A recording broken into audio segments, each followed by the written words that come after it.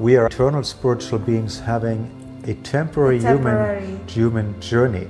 When this human body comes to an end, you will continue to exist. You may not get another human form of life, you may get another type of body and be in a completely different uh, world. The mind is expert in proposing all kinds of temporary little things.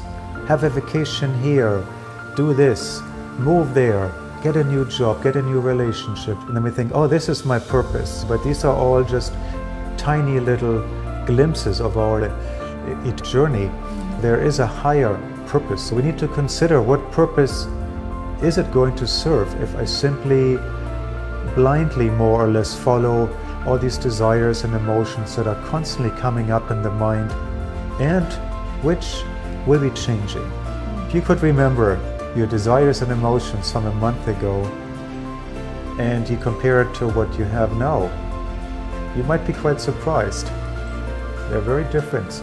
They can even be sometimes contradictory. That's a big question. What is our real highest purpose and function? In this world, many people they chase one false promise and dream after another. Next time it will be different. We need to be honest with ourselves. How many times have we tried this? Has this helped me to grow as a person? How was the outcome? We all want to become better persons. We'd like to be happier. We'd like to be healthier.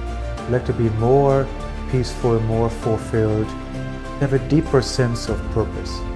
But if I'm going to do that, then there has to be some embracing of some higher sense of truth. In other words, I can't figure it all out by myself.